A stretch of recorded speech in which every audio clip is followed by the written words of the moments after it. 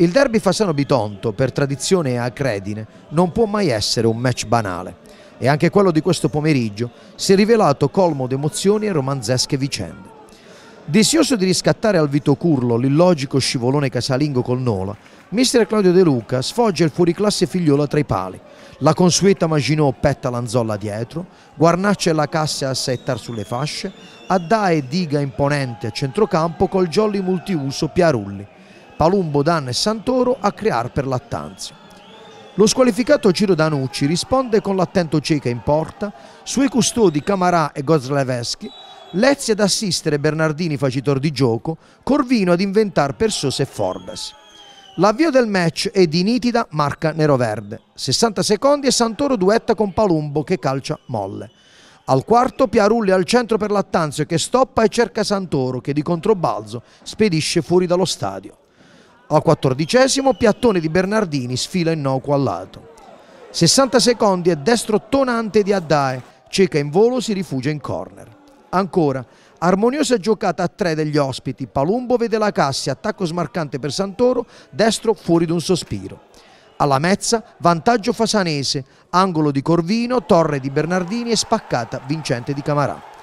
Tre minuti e ruggisce il Bitonto col mancino radente di Danna, domato dall'estremo di casa. A 4 dall'intervallo il meritato pareggio. Danna mette al centro Callido il capitano in sacca di giustezza.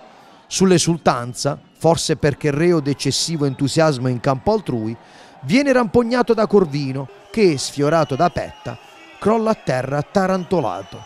Degno regista di questa sceneggiata partenopea, l'arbitro Iannello di Messina sventola il cartellino rosso sotto gli occhi dell'uomo sbagliato, il puntero di Andrea. E così i Leoncelli resteranno in 10 per un tempo intero. Ciononostante, nel recupero, occasionissima per il Bitonto.